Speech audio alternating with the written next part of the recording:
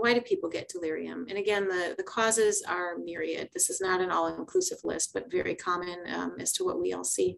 Um, those who are hospitalized with severe illness, sepsis, stroke, MI, an infection, um, presence of tethers like lines, Foley catheters, restraints, surgery, anesthesia, uh, medications. And this is starting a new medication. It could be stopping a medication can cause delirium. Benzodiazepines are a horrible uh, cause of delirium, frequent cause of delirium. Um, anti-nausea meds, uh, tricyclics, uh, steroids, opioids. Um, this is a short list, but basically any drug, uh, and again, starting or stopping it.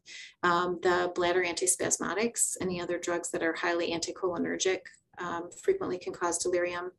Uncontrolled pain and environment change, like going to the ICU, um, dehydration, electrolyte disturbances, urinary retention or fecal